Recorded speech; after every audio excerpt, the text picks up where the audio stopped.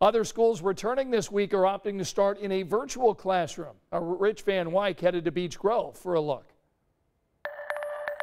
But can't we publish this and make it our course? Teachers are more concerned with their computers than their classrooms. So she doesn't have any attachment. Beech Grove schools will start with everyone e-learning. Mackenzie Shanahan teaches first graders. If I'm being honest, you know, I'm a little uneasy.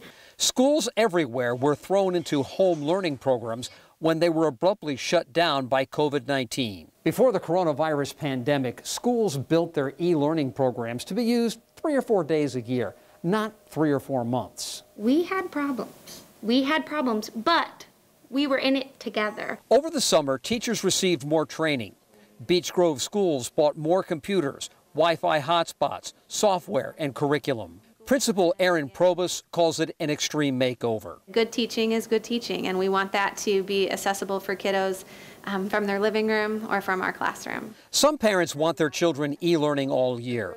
Kids coming to class will find more space, masks for everyone, lots of sanitizers. Students will eat at their desks and won't be mingling with kids from other classrooms. I'm really proud of and confident in the plans we have in place. But to say we aren't at all nervous or we aren't at all um, unsettled would not be true. If I just import something, where does it go? Mackenzie is also a mom and admits she's worried about taking a virus home to her little one. The e-learning thing? All of that will just fall into place.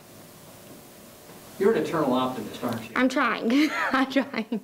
Along with teachers everywhere. Beech Grove schools will reopen Thursday morning for e-learning only. Students arrive in classroom August 10th.